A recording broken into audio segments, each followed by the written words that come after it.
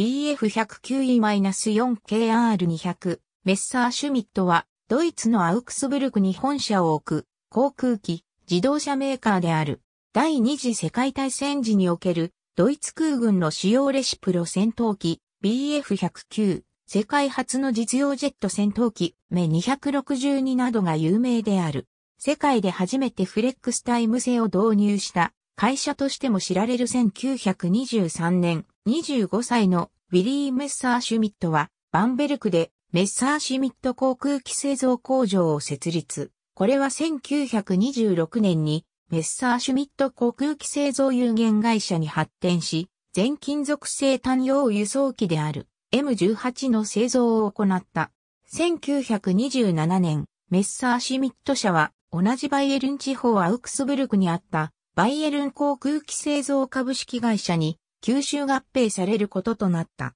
これは州政府が両者に対し別々に助成金を出す無駄を省くための政策的なもので、実績不足な BFW の設計チームを解散させる代わりに、メッサーシュミットの設計チームがそのまま移籍することを条件に実現した。またこの後、資産家の娘と結婚し資金援助を受けることができるようになったメッサーシュミットは、翌年、BFW の株主の一人となった。BFW 社はルフトハンザからの発注で新しい M20 輸送機を製造したものの同機の欠陥による墜落事故が発生。これが原因で完成した機体の引き取りを拒否され、経営危機に陥り、1931年に破産手続きを行った。しかし、メッサーシミットと親交のあったナチス党幹部ルドルフ・ヘスの圧力で、ルフトハンザは M20 を購入することとなり、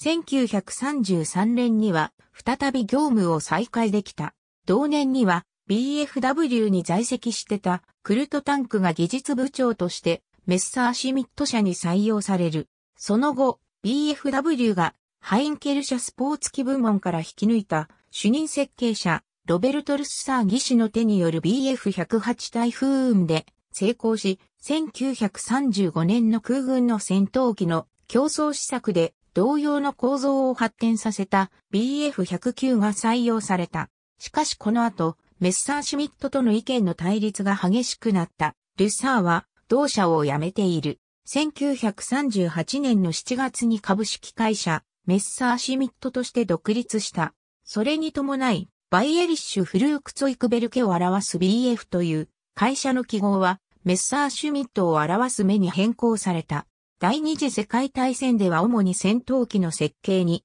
携わり、大戦前期にはドイツ空軍の主力戦闘機に採用されたメッサーシュミット BF109 は約3万3000機が生産された。また、後期には世界初となるジェット戦闘機メッサーシュミットメ262の実用化に成功した。それ以外にも、メッサーシュミットメ321といったグライダーやメ321にエンジン6機を取り付けた、メッサーシュミットメ323など大型輸送機の開発と製造にも尽力した。戦後は航空機の製造が禁止され、製造する製品を変更しなければならなかった。1952年にメッサーシュミット社の技師であったフリッツ・フェンドと業務提携し、フェンドが設計したミワバブルカーの KR200 カビネンローラーなど、バブルカーに小型エンジンを提供した。しかし、自動車部門の採算が悪化したため、